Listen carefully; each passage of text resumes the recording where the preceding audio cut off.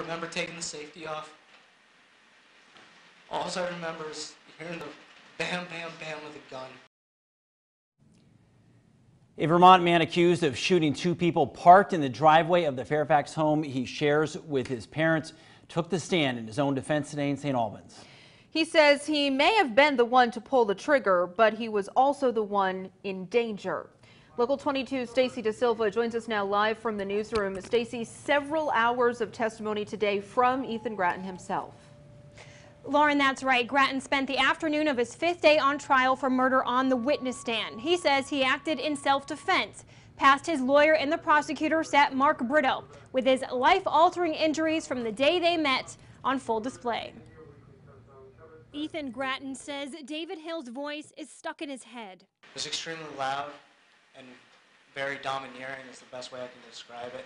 Hill is unable to defend himself like Gratton is. That's because Gratton is accused of killing him in January 2017, and Gratton's not denying that.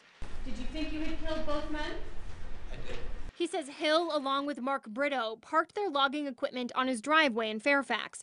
When Gratton told them to get off his property, several heated disputes ensued.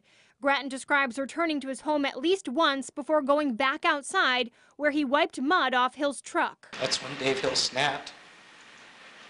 He said, You're scratching my truck! My spine jumped out of my back and my heart sunk to my stomach. And I knew I was in trouble. Gratton tells the jury that's when Hill punched him in the face and everything went black. I don't remember pulling my gun out. I don't remember taking the safety off. All I remember is hearing the bam, bam, bam with a gun. Then Gratton says Brito, quote, charged at him and he fired, shooting Brito in the head. Franklin County State's Attorney Jim Hughes asked him why he thought Brito was a threat. You didn't give him a chance to show what his intentions were. Well- To go to comfort his friend. Well, if you put it that way, he didn't come out with his arms up saying, I'm, I'm safe, because you would think a person that hears gunshots wouldn't run towards gunshots.